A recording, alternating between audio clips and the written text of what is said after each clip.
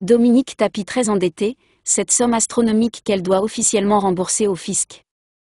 Ce lundi 4 mars 2024, le Conseil d'État s'est prononcé au sujet des dettes laissées par Bernard Tapie, le mari de Dominique Tapie mort le 3 octobre 2021.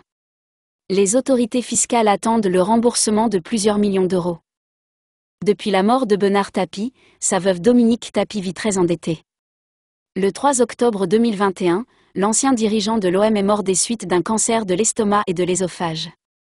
Une disparition qui a très largement secoué les fans de l'homme d'affaires ainsi que sa famille.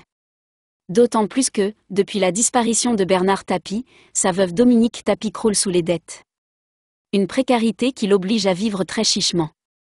Elle révélait J'ai des tonnes de dettes, je ne pourrai jamais les rembourser puisque tous les jours ça court. Je sais que je ne dois pas cette somme, tout a été remboursé. Ce que nous avons touché a été remboursé.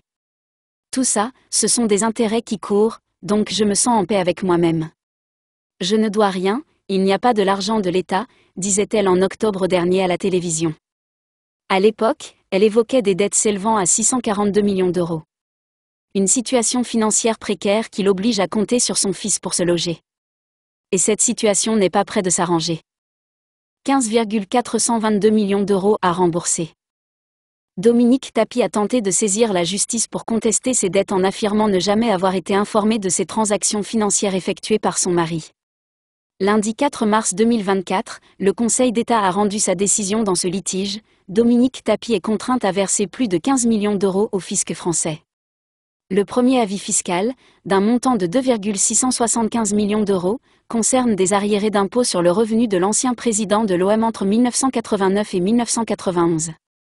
Le second, s'élevant à 12,746 millions d'euros, est lié aux années 1992, 1993 et 2016.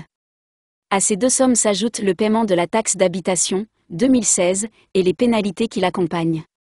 Le Conseil d'État attend ainsi le remboursement intégral de la somme demandée, soit précisément 15,422 millions d'euros.